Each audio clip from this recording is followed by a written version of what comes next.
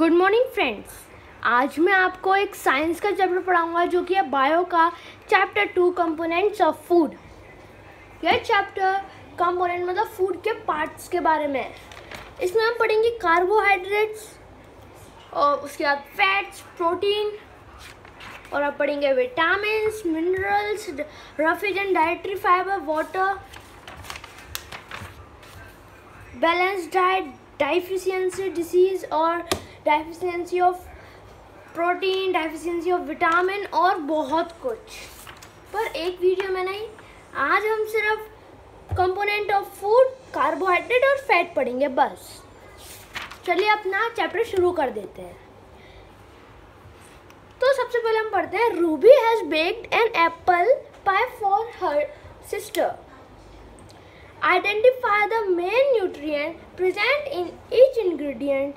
Add the people add the apple pie हमें apple pie add मतलब apple pie में क्या मतलब कितना होना चाहिए? एक्स में क्या होता है? आप सब लोग जानते हैं एक्स में बहुत ही ज़्यादा प्रोटीन होता है। जो नहीं जानते, मैंने बता दिया, अब लिख लीजिए प्रोटीन प्रोटीन अब आप देखेंगे फ्लोर मतलब आटा। आटा में क्या होता है? कार्बोहाइड्रेट ये भी आपने सुना होगा कि फ्लोर में कार्बोहाइड्रेट होता है। फिर बटर में फैट वो तो आप सभी जानते हैं। और शुगर में होता है कार्बोहाइड्रेट और कार्बोहाइड्रेट के मैंने आपको बताऊँगा अभी कार्बोहाइड्रेट में, मैं पहले ही बता दूँ। कार्बोहाइड्रेट है, उसके खुद टू पार्ट्स हैं। एक टू पार्ट मतलब पहला पार्ट जाता है शुगर कार्बोहाइड्रेट दूसरा जाता है, दूसरा आता है, आप अभी देख लीजिए शुगर और स्टार्च शुगर भी जैसे मीठा होता है, उसी तरीके से तो हम लिख देंगे यहाँ पर carbohydrate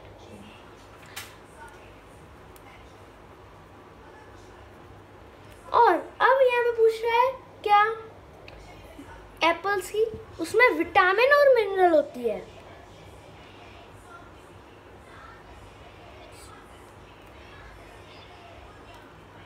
And mineral vitamin and mineral आप समझ गए होंगे? अब ये पूछ रहा है, क्या हमने कोई न्यूट्रिएंट सॉरी न्यूट्रिएंट मिस किया? न्यूट्रिएंट यस या नो आप लिख सकते हैं। Food is essential for all animals including human being. The food has been eat contain different components. Let us learn about the various component of food and their importance. अब हम पढ़ेंगे उसके importance और उसके बारे में सबसे पहले components of food. Com the food that we eat consists different component of nutrient. Nutrient are substances that are needed by our body for proper growth and health, healthy fu body function.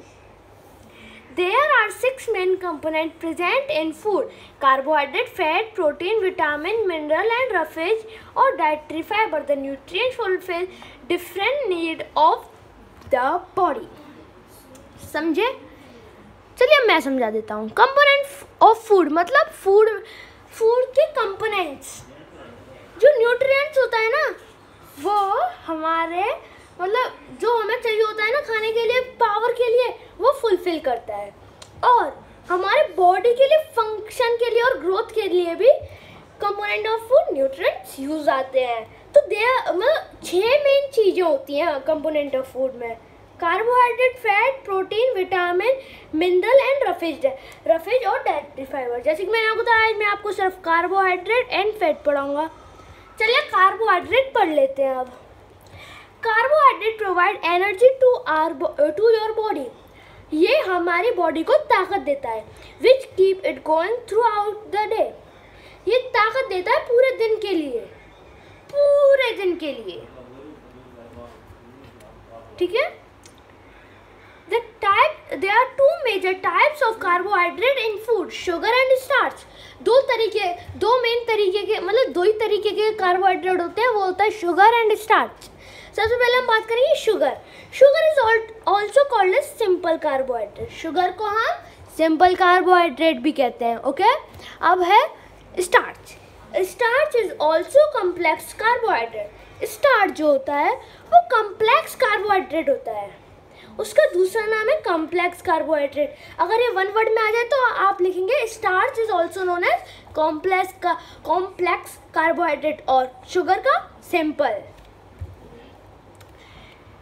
starch is also known as simple complex carbohydrate plant store plant store energy in the form of starch rice when we eat plant product containing sugar and starch are digestive system break them down into glucose. This glucose, which is simplest form of sugar, is then absorbed into the blood and provide us energy.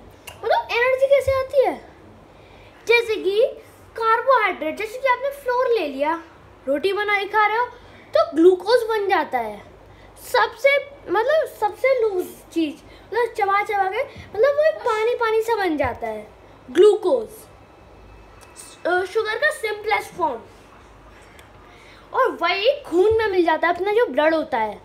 और वो हमें फिर ताकत देता है। यहाँ पे activity है, हम कार्बोहाइड्रेट को कैसे पहचाने? आप वो पढ़ लीजिएगा, मैं fat पढ़ाऊँगा। Fat to provide us energy they are two type saturated and unsaturated. Saturated fat are normally solid at room temperature, whereas unsaturated fat are mostly liquid at room temperature. Meat, oil, ghee, nut, butter and cheese. Source of fat. Are source of fat. Milk, fish and egg are egg also contain fat. जैसे कि मैंने आपको बताया protein का ये मतलब इसमें बहुत सारा प्रोटीन होता है। पर एग में प्रोटीन तो बहुत सारा होता है। जैसे कि आप यहाँ पे भी देख सकते हैं बना हुआ है। प्रोटीन तो होता ही है पर थोड़ा सा फैट भी होता है उसमें। अब मैं आपको समझा देता हूँ। ये फैट होता है, ये भी हमें ताकत देता है। और इसके टू टाइप्स होते हैं सेचुरेटेड एंड अनसेचुरेटेड सेचुरेटेड मतलब जमा हुआ और अनसेचुरेटेड मतलब नहीं जमा हुआ। जो रूम टेम्परेचर होता है ना सेचुरेटेड उसमें जमा हुआ होता है। और जो रूम टेम्परेचर नहीं होता मतलब रूम टेम्परेचर पे पिघल जाता है तो वो होता है अनसेचुरेटेड एग्ज़ाम्पल मतलब ये सब एग्ज़ाम्पल है फैट्स के। एग्ज़ाम्पल है फैट के मीट ऑयल घी nut butter etcetera